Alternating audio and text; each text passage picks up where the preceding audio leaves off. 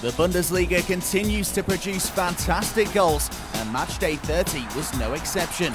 Take a look at the top five that we picked out, and then vote for your goal of the week. Hamburg will want to strike back. Lasogga, he'll get a chance, and Lasogga thunders the ball in, and that could be a massive goal in Hamburg's quest to beat the drop. A brace for Pierre-Michel Lasogga, and a vital one at that.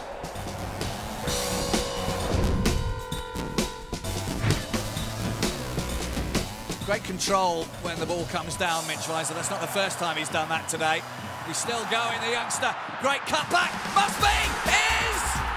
Schweinsteiger scores. Deadlock broken. And it's the simplest of jobs for Schweinsteiger to direct that one right into the corner.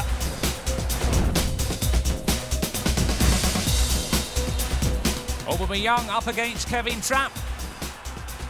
Clever penalty by the man from Gabon. Goal number 14 and the trademark somersault.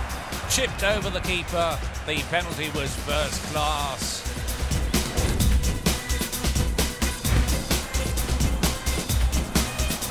This is Brandt, and it's in.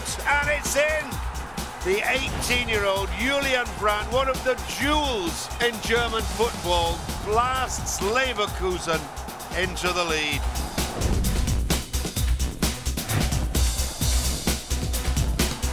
Ah, that's a fine hit. What a strike.